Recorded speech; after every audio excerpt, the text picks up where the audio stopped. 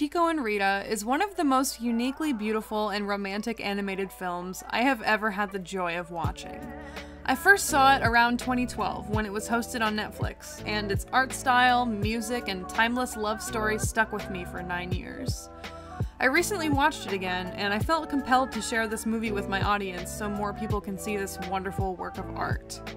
Chico and Rita is a 2010 Spanish adult animated musical romantic film in Spanish and English. The story is set in multiple cities across continents and decades. The music of the film is primarily Afro Cuban and Latin jazz. I am not a fluent Spanish speaker, so please excuse any mispronunciations. We begin in 1948 Havana, Cuba. Chico the pianist and his best friend Ramon are struggling to make ends meet. On one fateful evening, they encounter Rita performing at a bar, and Chico and Ramon set out to recruit her as their singer to win a competition. They follow her to another venue where Chico is pulled in as the missing pianist for the band as they play an Igor Stravinsky piece.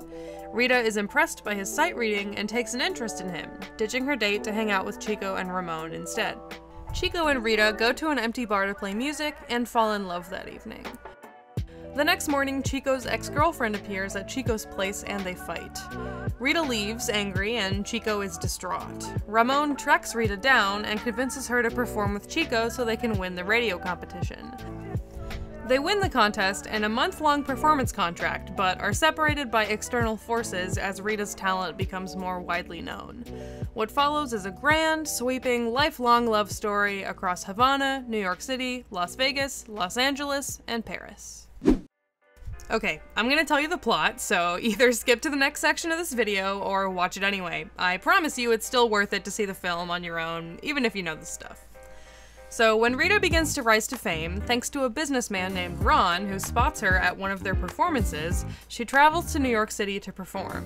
During contract negotiation, she insists that Chico join her as her pianist, but Chico mistakes the situation and believes Rita is leaving him, so she goes alone.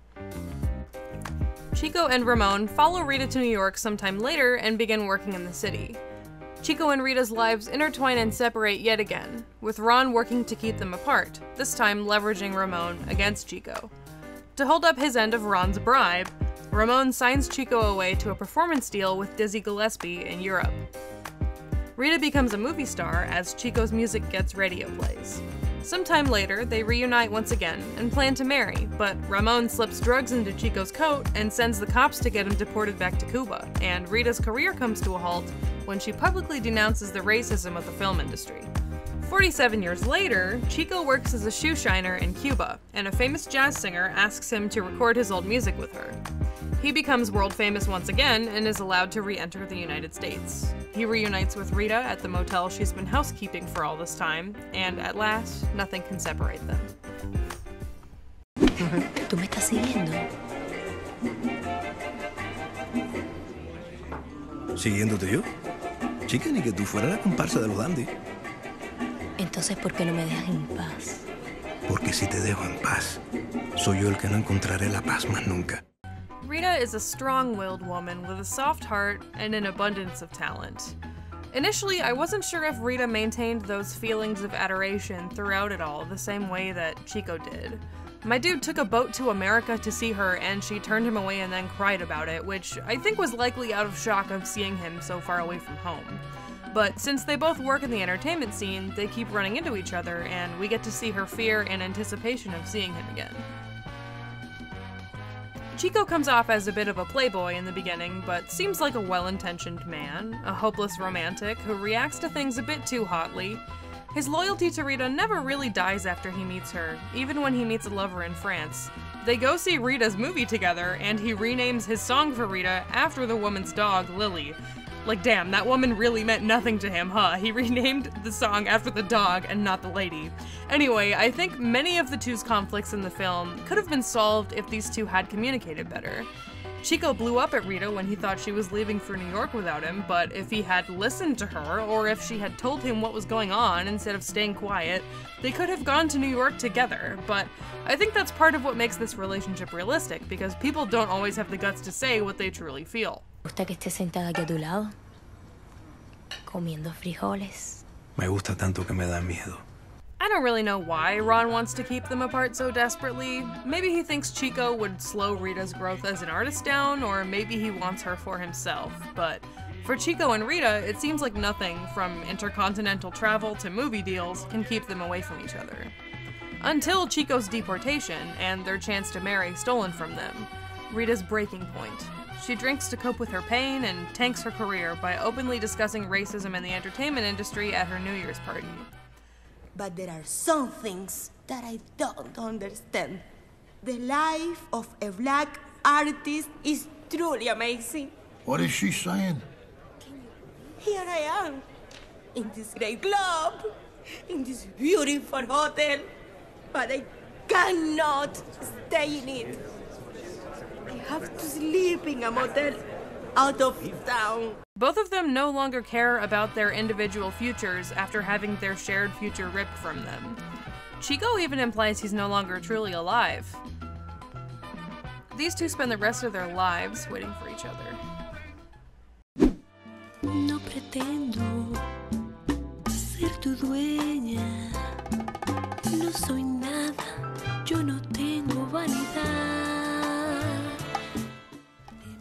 Music is the lifeblood of Chico and Rita. The film's original soundtrack was composed by Cuban musician Bebo Valdés. It also features the musicians Chucho Valdés, Dizzy Gillespie, Charlie Parker, Chano Pozo, Tito Puente, Ben Webster, and Thelonious Monk. Chico and Ramon hang out with Chano Pozo, go joyriding, and are even there to witness his death in Harlem, which is something that actually happened in real life. Pozo's killer was a local dealer named Cabito, who Pozo accused of selling him shitty weed, and Cabito retaliated. So in the movie, Ramon and Chico are there to witness it all. I thought including that piece of history was pretty interesting. Music plays throughout much of the movie, and at times carries the emotional weight in place of dialogue. A great moment that exemplifies this is the moment Chico steps in as pianist for the Stravinsky piece. You can see it all on Rita's face.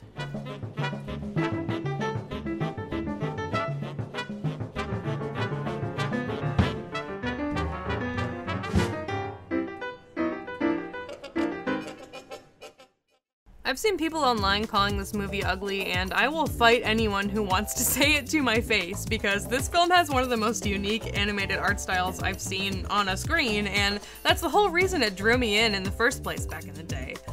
I love the way they desaturate everything in the winter when the world is draped in snow.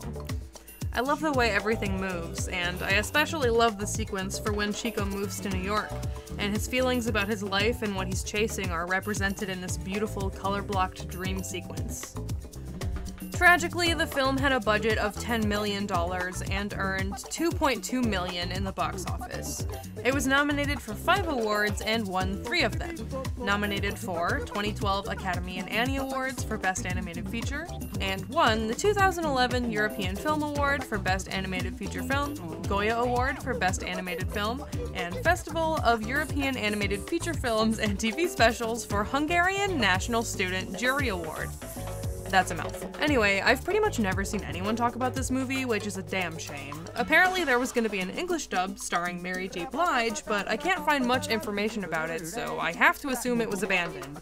A sad fact, because more people should be seeing this movie. The story involves a lot of Chico or Ramon following Rita or tracking her down in the name of love and infatuation, and I think that's worth mentioning. I feel like that would be creepy if the feelings were not reciprocated by Rita, but she clearly loved him all along. It's just one of those things I recognized as an adult that slipped past me when I watched it as a teenager.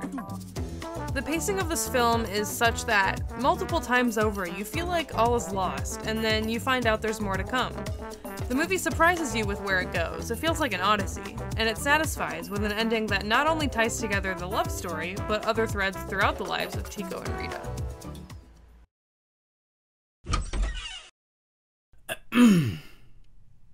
Okay, so um, do I uh, do I actually remember how to record one of these things? T O O N R I F I C T A R I Q, head of the Offbeat Kiki fan club, family guy, apologist, and certified gang member. I've wanted to see Chico and Rita since it came out. I remember seeing images and some animation as a kid and not knowing anything about it, but being overwhelmingly fascinated. And you know, when that kind of stuff happens to you as a kid, right? It's it's natural to see a film in question and it gives off mad like eh vibes, but nah, man. Chico and Rita was everything I wanted it to be and then some. First, man, I can't even fam. Do you see how this thing is animated? Some is clearly rotoscoped, some isn't, some has a little CGI, but it's all beautiful. This is great flow to the movement, especially when you catch stuff like Rita dancing. And fam, this car chase scene is crazy. The designs have this kind of contour nature to them. I don't really know how to describe it, but my art homies know what I'm talking about. Man, homies just sounds kind of gross. Hey, uh, Keeks, can I say Okay, I guess not. Not only is this thing gorgeous in literally every regard, but it gets you invested in the romance more than any other animated thing I've ever seen before in my life. Chico and Rita go through so much in their journey in love. A lot of misunderstandings, a lot of unpredictable changes in their lives, a lot of things out of their control. But the love is always there, and you, as the audience member, can feel that, you know? And the hollowness, the emptiness they feel when they're apart it's such a real thing. For a good portion of their lives, they're pretty much on autopilot. The film makes you feel and understand that in ways that I don't even think I can explain properly. That's why I feel like it deserves more love. More people should know about this. More people should see it. It bleeds style and grace and whatever the hell else Biggie was talking about. It really is an experience like no other. And I think my experience with Chico and Rita is really a testament to how cool it is to consume media a lot of the time. Every time you throw something on, you're rolling the dice. And when you add excitement to that, right, there's an extra layer of pressure there. Being excited for something is dangerous, yo, because it has all the power in the world to let you down. And yeah, it sucks when it does. I hate being let down, just like anyone else. Man, but like, when it doesn't, when it doesn't let you down, you get something that is really beautiful. You get a feeling that I like that I can't explain. You get Chico and Rita. I wanna remember us. Oh, do you?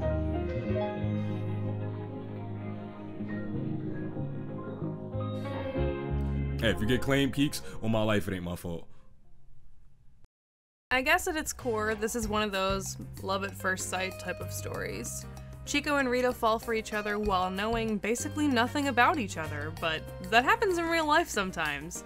You just look at a person and you somehow know they're gonna be important to you.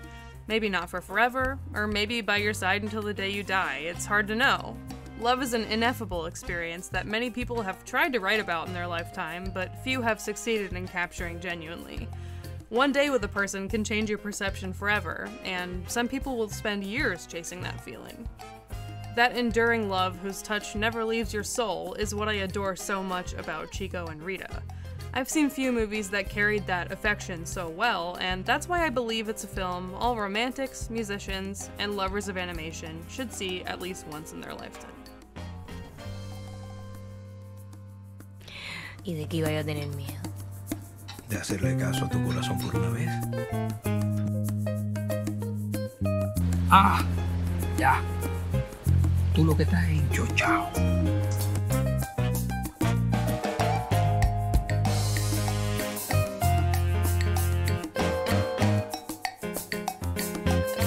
haber amado mucho a esa mujer para componer una canción así. Bueno, ¿y quién no ha estado enamorado alguna vez?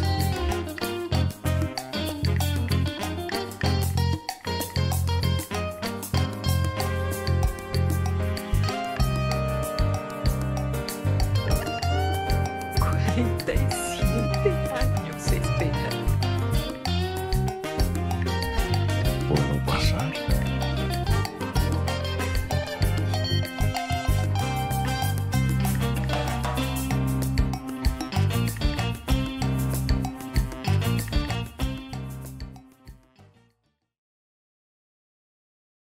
so much for being here and for watching my first ever movie review.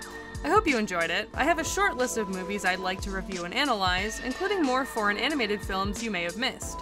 If there's anything you'd like to see me talk about in the future, tell me in the comments. Follow me on Twitter, Instagram, links for all that in the description. Stay hydrated, get vaccinated, and I'll see you next time.